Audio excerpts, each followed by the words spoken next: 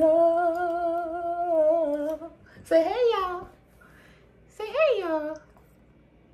Say my hair finally growing back. Yeah, you right. Ugh, girl, get away from me. Ah, we black, we don't do that. I told you. I told you we don't do that. Sit down. Can you sit down while mama do the teaching, please? Yeah? You gonna let mama do the teaching? You done ate, you done pooped, you done did everything you need to do. Now get out my face. Okay. All right, all right, all right. You gonna learn today. Hey y'all, what's up? It's your girl Sun'Ray coming at you guys with another teaching with Sun'Ray. Okay, so today's title is In the Deep. Ooh, the joy of the Lord. It is my strength, yes. The praise lifts heaviness. The praise it lifted the heaviness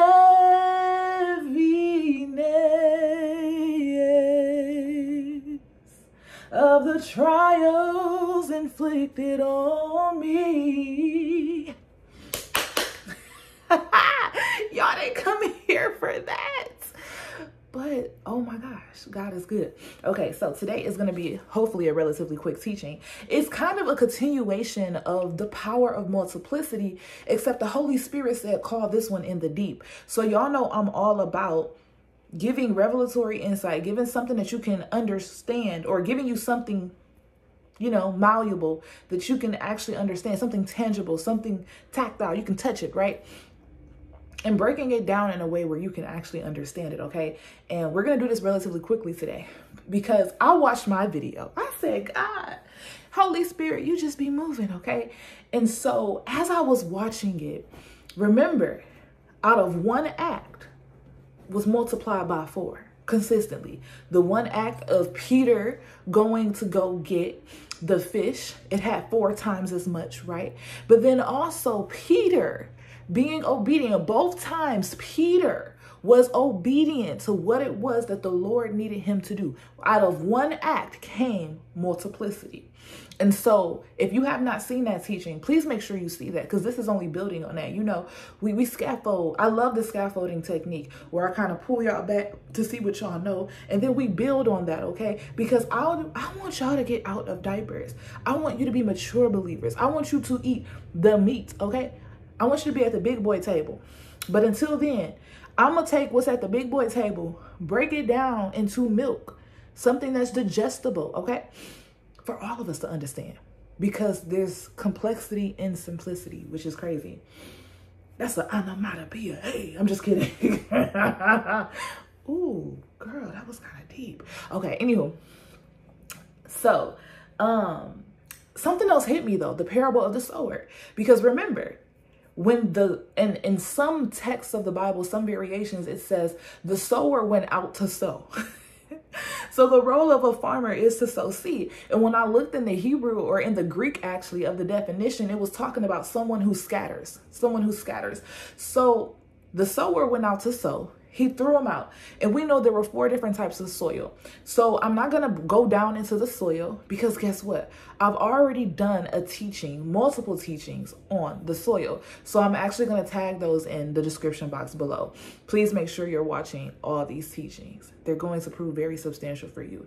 And right now, I just want to acknowledge the Holy Spirit. He been here, but he just showed up hey holy spirit move and have your way but okay so the um, sower he sowed the seed and it landed on four different types of soil but when it landed on the fertile soil, the fertile soil was the one that produced this great yield 100 times, 60 times, 30 times, right? Wow, it's amazing. And I remember, so before I get into that, I'm gonna get into that and then I'm gonna get into the two lessons to pick up from it. And so then it had me think back again to what the teaching we just went through. Jesus told Peter after he had been throwing his net out all day, specifically in the deep, is where your increase was. So in the deep waters was where that increase came from, but also in deep soil, deep good soil, that was where the farmer's harvest yielded 160 30 times. So there's something about in the deep. And we know in the deep things is the knowledge of God. In the deep things is where we find out who we are. In the deep things is our destiny. In the deep things is how you locate that that kingdom marriage, that kingdom assignment, okay? In the deep things, okay? But we ain't going to go there. We're focused on how in the deep is where multiplicity comes from. Because what do we think about it? The deeper the soil is, the deeper the roots grow, the more stable the tree is, and the more strong it is and mighty that it flourishes, okay? And so, um, I began to pick up on two major lessons. Because remember, we're not trying to make this long. The first lesson is this, and God actually showed me this in ministry before I even started. Don't deviate from the assignment that God has given you. When He tells you to sow, don't become apathetic to the assignment because you don't see an immediate return. Don't become apathetic. Apathetic means loss of interest, loss of empathy, loss of sympathy, loss of you don't care no more, right? And Galatians 6, 8 through 9 tells us, we love to say, do not grow weary in well doing, for in due season you shall reap a harvest. But the scripture directly before that, it tells us, if you sow to the flesh, you will reap of the flesh, which is corruption. But if you sow to the spirit, you will reap of the spirit. So sometimes I was like, oh God, I probably took that out of context because we apply it to things that we're doing right? Just in general, like, well, I've been doing this on the outside. I've been doing this on the outside, so I should see something in return. No, no, no. What Paul was doing, he was giving people encouragement that are sowing into the things of the spirit to know that even if now you don't see the actual harvest, know that you're going to reap everlasting life. You're going to reap th- the things of the spirit matter way more than the physical. Okay. So I just want to say that Continue to do your assignment. Don't become apathetic because you're not seeing an immediate return. Don't search for instant gratification when it comes to YouTube, when it comes to ministry. When it comes to God uh, calling you into ministry, you might as well get used to instant gratification being a thing of the past. Okay? And I, te- I say this because when God was calling me into ministry, He had me study the parable of the sower. And specifically, he had me focus on um i think it was in mark. It's one of those where it's like four and eight. And i it's always four with me four and eight. And eight is my favorite number ever since i was a kid because eight is divisible by two which equals four. And then four is divisible by two which equals two. And then two is divisible by two which equals one. Like what? How is that not beautiful? You don't like it? I do.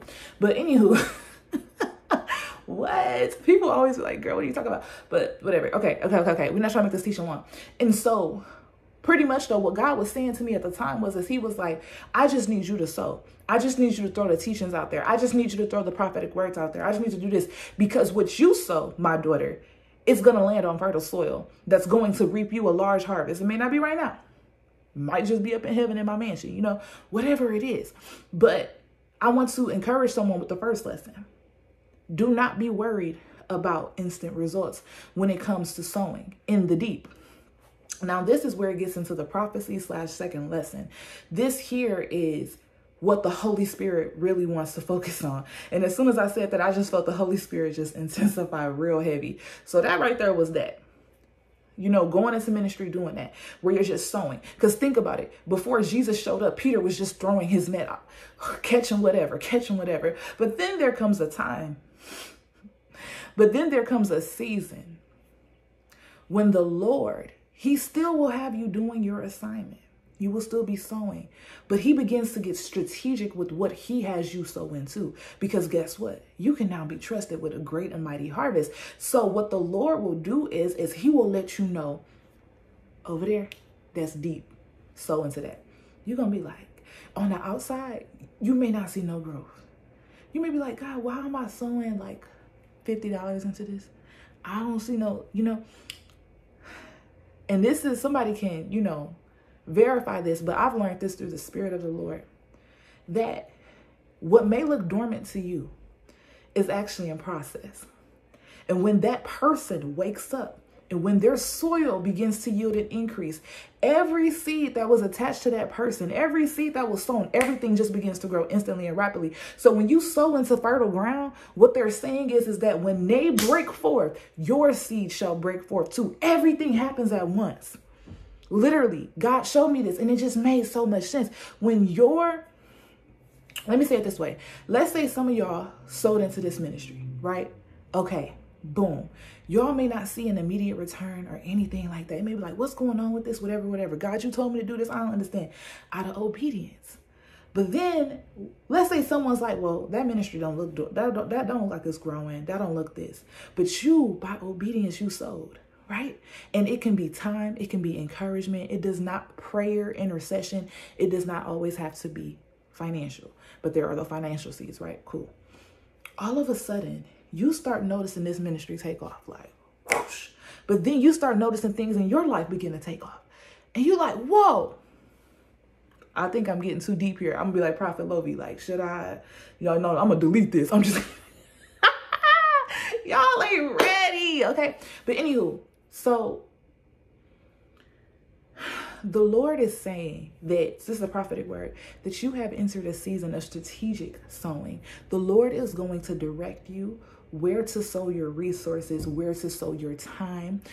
One day you'll wake up and he'll suddenly give you a vision of a reel to post on Instagram. He'll suddenly give you a business plan to just go forward with. He'll suddenly give you a book idea that you'll just be able to write. Whatever it is, then God's going to tell you exactly where to put it at the right time. It's not so, you know how sometimes I was like, look, God, I feel like I'm trying to help you be God. But then God had to reveal to me that there are sometimes out of obedience, God's like, no, I'm to use your act of obedience, listening to me. That the sowing that you did in this action, I'm actually using that to activate everything that's connected to the blessings that I have for you, whatever the case may be. So, what the Lord is saying today is that for some of you, in the deep. In the deep is where your increase is going to come. In the deep is where you shall experience being able to rest in the sheepfold and not have any worry. In the deep is where your increase is coming from in this season because the Lord, He is instructing you because you have been faithful. Peter was faithful to continue throwing his net out there. Even to the extent when he was like, but Jesus, okay, whatever you say in the deep. So for some of you, you're like, God, but I've been in ministry for so long. But God, I've been teaching for so long. But God, I've been doing this for so long. But God's like, yes, but do it over here. The same thing you've been doing, but do it over here. And then all of a sudden, you're like, whoa, wait, huh? That's astronomical. And that's the Lord blessing you that is the Lord blessing you. And I just pray over every single individual whom this word is for. God, I pray in the mighty name of Jesus. First of all, God, I just thank you, God. You are glorious. God, I just thank you, Lord. You are the lifter of our heads. I thank you, God, for giving us uh, what do you call it? Joy in exchange for the sorrow, God. Thank you for the spirit of joy. God, we cleanse ourselves before you, Lord God, and then just ask for forgiveness. Cleanse us, Father. Make us more like you. And God, we thank you for this opportunity to be able to speak unto you, Lord. And I just decree and declare, God, that the people that this word is for, that you are giving them eyes to see and ears to hear and hands and feet that move in action and according to what it is that you are showing and telling them. God, out of their one act of obedience, I decree and declare that there shall be such a radical amount of increase whether it's financial, whether it's in health, whether it's in their uh, lineage, things being broken off, freedom, deliverance, God, whatsoever it is, God, that one act of obedience I decree and declare today by the Spirit of the Lord, it shall lead unto every single other harvest that you have set for them in heaven. Father, we thank you, Lord, for this word. We thank you, Lord, for teaching us to sow into the deep the deep things, God. You know the heart of man. You know what things are going to do. And Father, we just say yes. Can somebody say yes in the comments? God, we just say yes to you. In the mighty name of Jesus, I pray this prayer. And I seal this prayer with the blood of Jesus. Okay, I will talk to y'all later. But I could have had it all. Rolling in the deep. You had your heart inside, my heart inside of your ass.